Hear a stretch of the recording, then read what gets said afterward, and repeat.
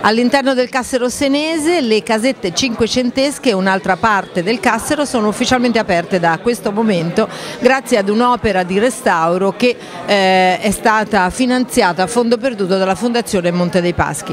Una opera che ha restituito alla città dei locali che per un breve periodo sono stati occupati dal polo universitario grossetano ma che poi sono stati a lungo chiusi e non vissuti.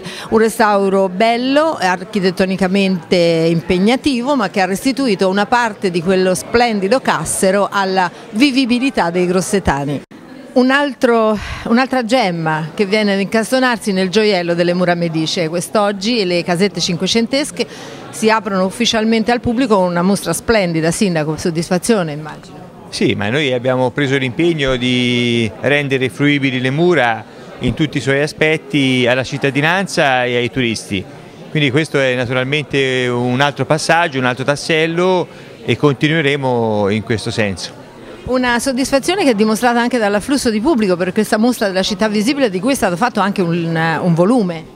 Sì, senz'altro il volume è molto importante perché raccoglie un po' tutte le ricchezze della nostra città, quindi di conseguenza vogliamo offrire ai grossetani e non solo eh, anche aspetti che tante volte eh, non eh, focalizziamo, che ci sfuggono e che sono veramente un bel patrimonio per Grosseto.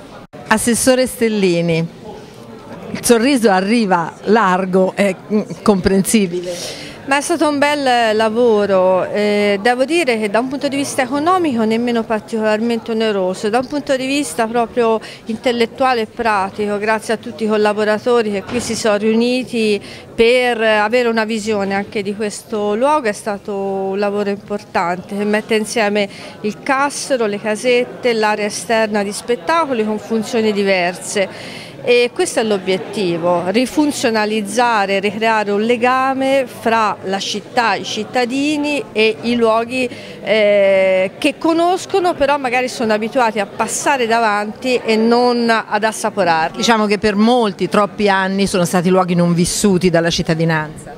Assolutamente, quindi è un, dire, è, è, è un, onore quello di oh, raggiungere questo obiettivo, è un dovere morale quello di raggiungerlo, però ogni volta che si aggiunge un tassello è indubbiamente anche una grande soddisfazione.